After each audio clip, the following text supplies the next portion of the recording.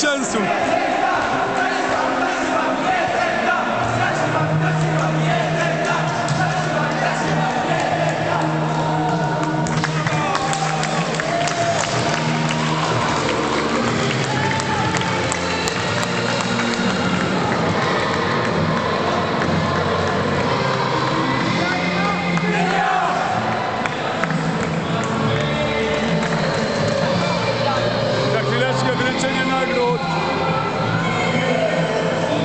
Podejdę chyba do najlepszego zawodnika, tak jak mówiłem.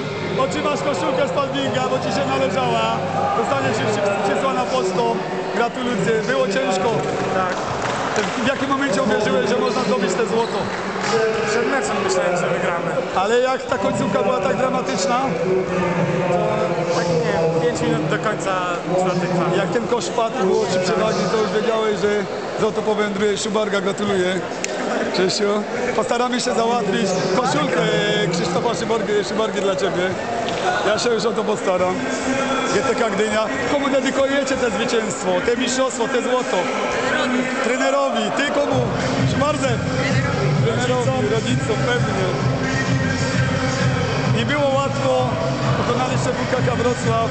Ja jeżdżę od 4 lat na mistrzostwa i po raz pierwszy Gdynia złoto. Szampan, gdzie jest szampan? Dlaczego nie obcinacie siatki, chłopcy?